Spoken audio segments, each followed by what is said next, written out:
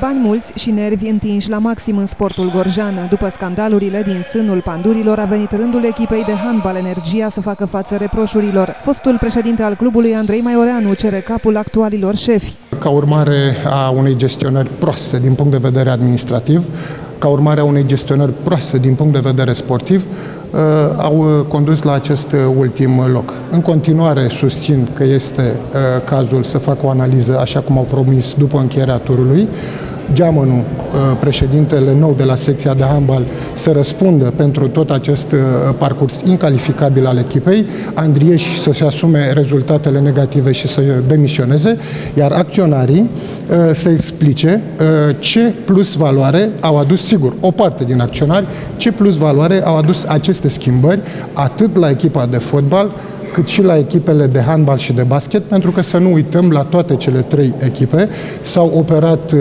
modificări, uh, nerespectând procedura, în condițiile în care echipele erau plasate pe locuri, majoritatea dintre ele, de cupă europeană. La ora actuală, Energia ocupă ultimul loc în clasamentul Ligii Naționale cu doar 9 puncte acumulate.